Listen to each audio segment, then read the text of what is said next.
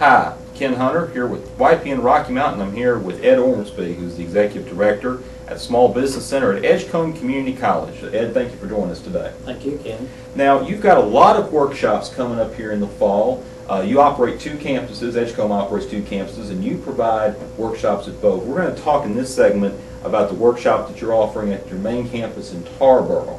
And it's a really nice campus. I had a chance to meet with you a couple of weeks ago and, and tour the facility. Uh, first, I want to talk about the small, the new business development series that you offer. It's a six-part series of classes, and it's going to start up on September the 9th. Why don't you kind of briefly talk a little bit about this program? Okay, Ken. The new uh, business development series is for, designed for individuals who are considering starting a new business but really don't know where to start. Uh, our sessions are made up of five seminars, how to start a new business, financing a new business, writing a business plan, which is the key to a new business success in my opinion, advertising and marketing, uh, licenses, record keeping, and taxes. And we also do one on introduction to grant writing for folks interested in uh, starting a nonprofit business. Okay, sounds great. And again, these workshops will start on September the 9th. They will be on every other Thursday uh, at the Tarboro campus. They're from 6 to 9. Starts off with how to start a new business, then how to write a business plan on September 23rd, how to finance a business on October the 7th, how to market on October the 21st, record keeping and tax issues on November the 4th, and then introduction to grant writing, which is an interesting class that you had as well, very important one, on November the 18th.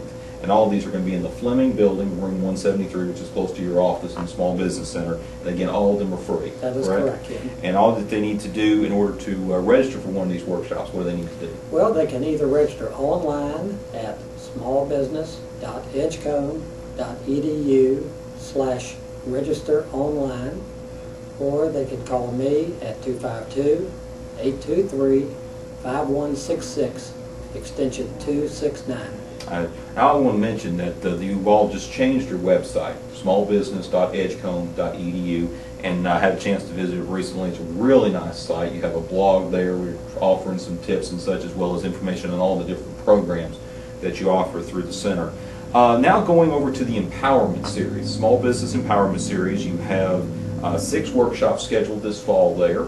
Uh, they're all on Thursday nights and uh, those start up on September 16th uh, with a very nice workshop that is very important in my mind, and that is sales for people who don't like to sell. Why don't you talk a little bit about that one in particular, Start. Okay, Ken, let me start by saying uh, the Tarboro uh, Small Business Empowerment Series will be held in the afternoons from 3 until 6, okay. rather than in the, in the evenings. Sales for people who don't like to sell. Most people don't realize that everyone is a salesperson. You're selling all the time. You may think you don't like to sell, but you're doing it. Once you discover how easy it is to develop those skills that you really already have, it makes the sales process a whole lot, a whole lot easier. Absolutely. And again, that's going to be on September the 16th. Now, on September the 30th, two weeks after that, you're offering a workshop, Overpowering Your Competition. This seminar is designed for existing business owners, managers, employees, as well as those who are interested in starting a new business. If you're going to start a new business, some of your business is going to have to come from competition. Mm -hmm. You've got to understand your competition's strengths and at least match them, and you have to understand his weaknesses and surpass those. Absolutely. And again, that's going to be on September the 30th. On October the 14th, using social media to find new customers. Social media has pretty much, I guess, become the, the, the big thing for a lot of businesses to try to wrap their heads around. How will this help them in dealing with this topic?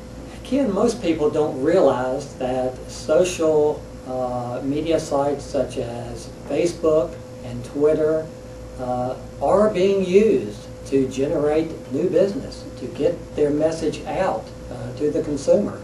You also have LinkedIn, which is a professional uh, social media site uh, just for businesses. But it's become so, so important, especially in these last couple of years, uh, as a marketing tool. Absolutely. Now, again, all these workshops we're talking about during this segment are free.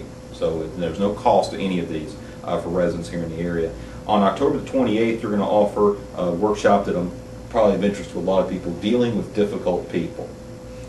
Show me one person that doesn't deal with uh, difficult people, and uh, I'm not sure that I believe them.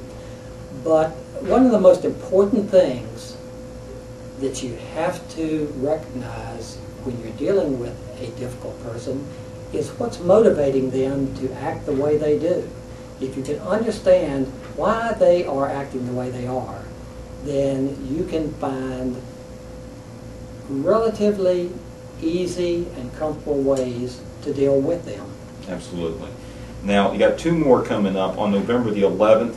Bashful to Bold, Uncovering the Leader in You. Just like selling, everyone is a leader.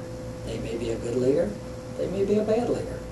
They be, may be leading people in the wrong direction, or they may be leading people in the right dir- direction. Mhm. This particular seminar is designed to help all individuals harness their leadership powers in a positive direction. Okay, that sounds great. And last but not least, on December the 2nd, understanding and working with different ages and generations. I mean, there, you could you could have an entire college degree dedicated to this. How do you try to get your hand around it in a three-hour session? Well, you have to understand that the motivations of the young and the motivations of the elders uh, are different. Uh, music, for example. Mhm. Today, you have iPods.